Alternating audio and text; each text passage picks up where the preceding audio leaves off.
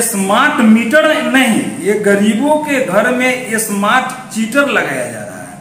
Bulb नहीं जलता है घर में, गरीबों के घर में, और उसको हज़ार हज़ार, पाँच पाँच सौ रुपया का बिजली बिल आ रहा है चार्ज कराता है। पैसा रहते हुए उसका लाइन काट दिया जा रहा है। नीतीश कुमार जी का जो कर्मचारी लोग हैं, एक पन्ना पर नाम ली, देखने के लिए हज़ार हज़ार, दस दस हज़ार रुपया गरीबों के शोषण करने के लिए फ़ी बाँध दिए हैं। राजकुमार ठाकुर जी एक अक्टूबर यानी कल आप लोग स्मार्ट मीटर के विरोध में प्रखंड मुख्यालय पर प्रदर्शन करने जा रहे हैं। इसका वजह क्या है? राष्ट्रीय जनता दल के राष्ट्रीय अध्यक्ष आदरणीय लालू प्रसाद यादव जी और बिहार के ही नहीं, देश के युवाओं के आइकॉन तेजस्वी यादव जी, जो यह निर्णय लिया है, बहुत ही सराहनीय है।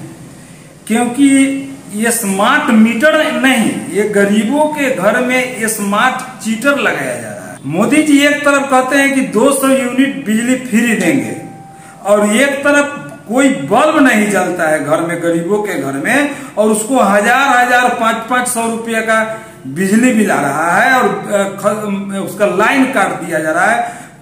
रिचार्ज कराता है, पैसा रहते हुए उसका लाइन काट दिया जा रहा है। इसी के विरोध में हम लोग ये जो बिहार में गरीबों के साथ जो ये स्मार्ट मीटर लगा के जो ये स्मार्ट चीटर का काम किया जा रहा है, इसी के विरोध में हम लोग। कल एक तारीख को बिहार के सभी प्रखंड मुख्यालयों पर राष्ट्रीय जनता दल के सभी लोग विशाल धरना देने का काम करेंगे और गरीबों के लड़ाई लड़ने का काम करेंगे। अरे, ऊर्जा मंत्री विजेंद्र यादव जी हैं वो कह रहे हैं कि मोबाइल में रिचार्ज करते हैं तो पैसा कटवे नहीं करते और बिजली का रिचार्ज करने पर पैसा कट जा रहा है। उनको दिखाई देता नहीं है। जो ऊर्जा मंत्री जी हैं, उनको दिखाई देता नहीं है। आप जाके क्षेत्र में पूछने का काम कीजिए। जो गरीबों का हाल है, जो भी लोग, यह बिजली का मीटर, जो स्मार्ट मीटर लगाए, उनका जो हाल है, आप पता कर ले ऊर्जा मंत्री जी को कहिए एसी में से निकल के बाहर आके पता करे कि इसका जो रिचार्ज समाप्त होता है कि नहीं और पैसा रहते हुए बिजली बंद कर दिया जाता है कि नहीं या जा करके क्षेत्र में पूछने का काम करे धरातल पर। अरे क्या स्थिति है? विजेंद्र यादव जी बोले हैं बेवजह किसी मुद्दे को तुल देंगे तो कार्रवाई करेंगे। वो क्या कार्रवाई करेंगे? अरे जेल में ठूस देंगे। अरे वो तो मुद्दा है भाजपा वाले को लोगों का यह दशा है जो भी अगर गरीबों के अन्याय के खिलाफ लड़ाई लड़ा है उस पर तो कार्रवाई लोग करवे किया है। तो क्या कार्रवाई से उनके कार्रवाई से राष्ट्रीय जनता दल के सिपाही डरने वाला लोग है क्या? वह डरेगा। सब दिन गरीबों की लड़ाई राष्ट्रीय जनता दल के सिपाही और राष्ट्रीय जनता दल के सुप्रीमो आदरणीय लालू प्रसाद लड़ने का काम किया और आजीवन लड़ते रहेगा यह पार्टी। गरीबों पर जब भी जब भी अत्याचार होगी हम लोग मानने वाले लोग नहीं है हम लोग लड़ाई लड़ने का काम करेंगे। आप कर रहे हैं स्मार्ट मीटर लगा के गरीबों का शोषण किया जा रहा है। एक तरफ़ ऊर्जा मंत्री बोल रहे हैं कि सात आठ राज्यों के प्रतिनिधि यहाँ आके इन, इन इस अति स्मार्ट मीटर का अनुसरण करने के लिए यहाँ से विज़िट करके गए हैं वो अपने राज्य में भी लागू करेंगे। यहाँ तक कि मोदी जी भी सभी राज्यों के हैं कि बिहार का अनुसरण करें। अरे, कहे हैं जो आकर के यहाँ सर्वे किए हैं, जो जिस राज्य के लोग, किस, किसका लोग था? कौन लोग थे? सभी भाजपा के लोग हैं। और जो भाजपा के लोग तो श्री राम जयराम भाजपा गए ना करेंगे। कहाँ धरातल पर कहाँ जाकर के सर्वे किए हमको बताने का काम कीजिए आप।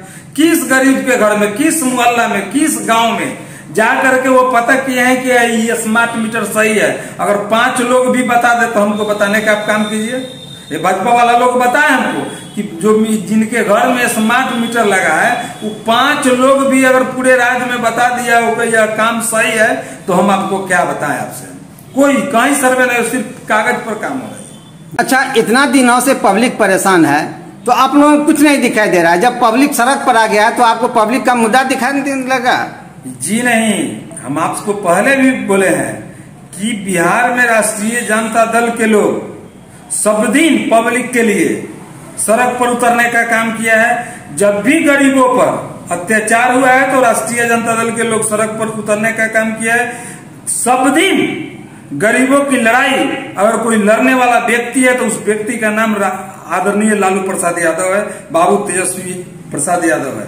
ये सभी लोग के निर्देश पर राष्ट्रीय जनता दल के सिपाही गरीबों की लड़ाई सब दिन लड़ने का काम किया और सब दिन लड़ेगा। ऐसा बात नहीं है कि जनता सड़क पर उतरी है। आप बताने का काम कीजिए। आप ही से मैं पूछता हूँ कि बताइए बिहार में कब गरीबों के प्रति अत्याचार हुआ है तो राष्ट्रीय जनता दल के लोग उतरने का काम नहीं किया है? आवाज़ सड़क से सदन तक आवाज़ उठाने का काम नहीं किया है? कहाँ आप लोग उतर रहे हैं? भूमि सर्वे में इतना परेशानियाँ पब्लिक को हो रही है।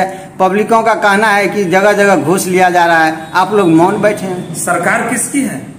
सरकार किसकी है? सर्वे जब हो रहा है, आज बिहार में कर्मचारी, ये नीतीश कुमार जी का जो कर्मचारी लोग हैं, एक पन्ना पर नाम देखने के लिए हज़ार हज़ार, दस दस हज़ार रुपया गरीबों के शोषण करने के लिए फ़ी बाँध दिए हैं। कि एक नाम खतियान में देखा जाएगा, आपका नाम है कि नहीं, उसके लिए दस हज़ार रुपया ए, कर्मचारी लोग उनके दलाल एक कर्मचारी के बीस बीस दलाल हैं वो सभी लोग कार्यालय अंचल कार्यालय में ये गरीबों का शोषण कर रहे हैं खून चूसने का काम कर रहे हैं और लूट खसूट का यह आपसे कहते हैं सर्वे में काम करने का काम कर रहे हैं। सभी लोग जान रहे हैं हम लोग बराबर आवाज़ उठाने का काम कर रहे हैं। आप कर रहे हैं कि नहीं उठता है।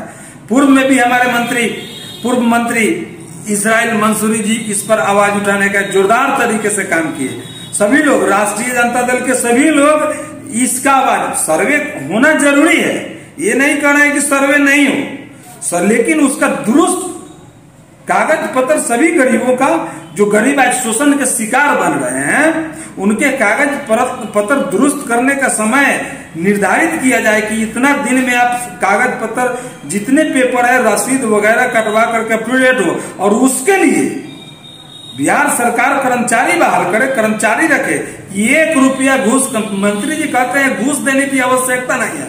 और बिना घूस के कर्मचारी फ़ोन नहीं उठाते हैं। सीओ साहेब मोतीपुर के मैं मोतीपुर प्रखंड से आता हूँ, मोतीपुर के अंचला अधिकारी फ़ोन नहीं उठाती है। किस किसी का। तो फिर इस पर कि, किसका दबाव और किसका गलती है? तो सरकार सबसे पहले सर्वे कराए लेकिन उससे पहले मैं निवेदन करता हूँ कि सभी कागज़ पत्र का और अपने कर्मचारी को हिदायत दे कि बिना एक रुपया घूस लिए सभी का पेपर अप टू डेट कराने का काम करे। जिसका पेपर सही है ये नहीं कर रहे कि जिसका गलत है उसका गलत काम करे। जिसका पेपर सही है खो गया है या कुछ भी हुआ है उसको अप टू डेट पहले कराए उसके बाद सर्वे कराए। नहीं तो आप देखिए बिहार में गृह युद्ध जो कहते हैं, सर्वे के कारण बिहार में गृह युद्ध होने वाला है। भाई भाई को काट दे रहा है, हत्या कर दे रहा है। परदार परदार एक परिवार के लोग चार चार आदमी आपस में लड़ रहे हैं, इस सर्वे के कारण। तो पहले हम बिहार सरकार से निवेदन करेंगे कि सबसे पहले उसका पेपर दुरुस्त कराने का समय सीमा निर्धारित किया जाए और वो अपने कर्मचारी का कहें कि एक रुपया घूस नहीं लेकर के सभी गरीबों का काम। नहीं तो अगर घूस लिया गया तो फिर राजद के लोग सड़क पर उतर के चरणबद्ध आंदोलन करने का